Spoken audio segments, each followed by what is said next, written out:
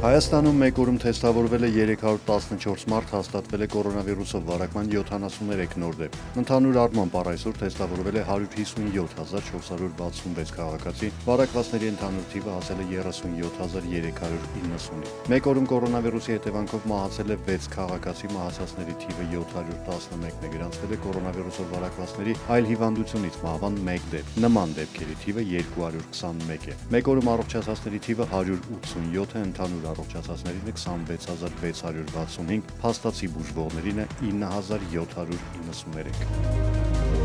Արցախում վարակը հաստատվել է 3 քաղաքացու մոտ վարակակիրներից երկուսը Ստեփանակերտից են նախկինում հաստատված օջախների կոնտակտավորներ, մեկն էլ Ասկերյանի շրջանի Այգեստան համայնքից։ Գրանցվել է առողջացման 5 դեպք։ Առ այսօր COVID-19 ախտորոշվել է 215 մարդու մոտ, որից 153-ը հաղթահարել է հիվանդությունը։ Փաստացի բուժում է ստանում 61, ընդհանուր մեկուսացված է 128 քաղաքացի։ Թեստավորումների նպատակով 83 նմուշառում է իրականացվել։ Մինչ այսօր թեստավորվել է 4774 քաղաքացի։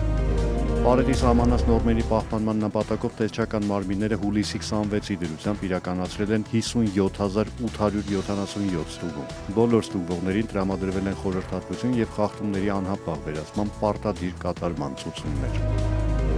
Վերջին օրերին հանրային տրանսպորտում խախտումները նվազել են, ախտահանիչ նյութերի հետ կապված խախտումներ գրեթե չկան։ Քաղաքաշինության տեխնիկական եւ հրդեհային անվտանգության տեսչական մարմինը ճանապարհային ոստիկանության խմբերի հետ այսօր շարունակել է ստուգումները նոր-նոր վարչական շրջանում։ Տեսչական մարմինը սակայն արձանագրել է, որ առավոտյան ու երեկոյան հանրային տրանսպորտը գերբեռնված է աշխատել, 9 տրանսպորտային միջոցի վարորդի նկատմամբ արձանագրություն է կազմվել։ Վարորդներին եւս մեկ անգամ զգուշացրել են կանգնած ուղևորների չփոխադրել համեմատության կարգով պետք է ասեմ, որ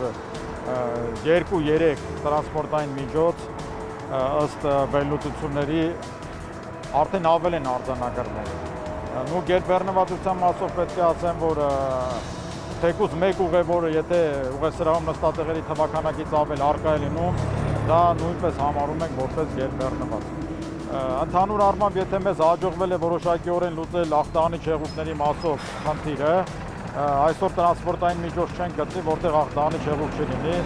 այլ հարց է նրա որակական չափանիշներն ինչպիսին են կոնկրետ։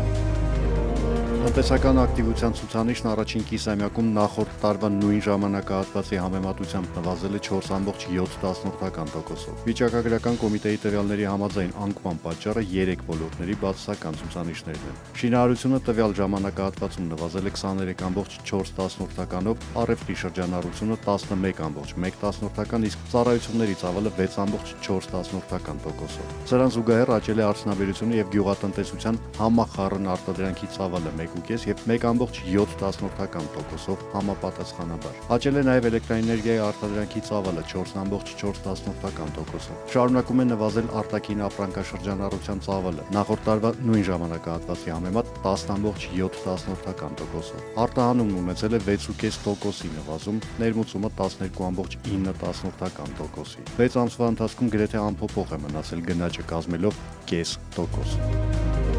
Ազգային անվտանգության ծառայությունը բացահայտել է մաքսային ծառայության պաշտոնյաների կողմից խոշոր չափերով կաշառք ստանալու եւ պաշտոնական փաստաթղթերում ակնհայտ կեղծ տեղեկություններ ներառելու դեպքեր։ Պաշտոնյաներն օրենքով արգելված ժամանակահատվածում թույլատրել են աճղեկով մեքենաների ներմուծումն ու մաքսազերծումը։ Բացի դրանից նույն պաշտոնյաները փաստաթղթերում կեղծ տեղեկություններ են ներառել նշելով, թե մեքենաներն ունեն ձախ ղեկ։ Ըստ պաշտոնական հաղորդագրության ոստիկանության հաշվառման քննական բաժանմունքների պաշտոնյաները եւս կեղծ տեղեկություններ են ներառել ավտոմեքենաների վերաբերյալ փաստաթղթերում։ Հարուցվել է քրեական գործ կոռուպցիոն սխեմայում ներգրաված մյուս պաշտոնյաների ինքնությունը է։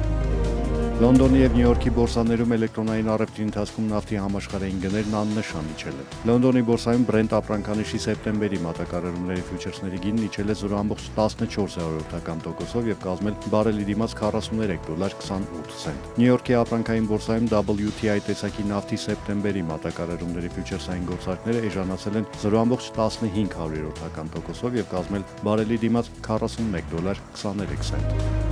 Հայաստանի Հանրապետության կենտրոնական բանկը տեղեկացրել է, որ ամերիկյան դոլարն այսօր միջինն արժեցել է 484 դրամ 97 լումա։ Եվրոպական արժույթի գինը կազմել է 567 դրամ 71 լումա։ Ռուսական ռուբլու արժեքը սահմանվել է 6 դրամ 78 լումա։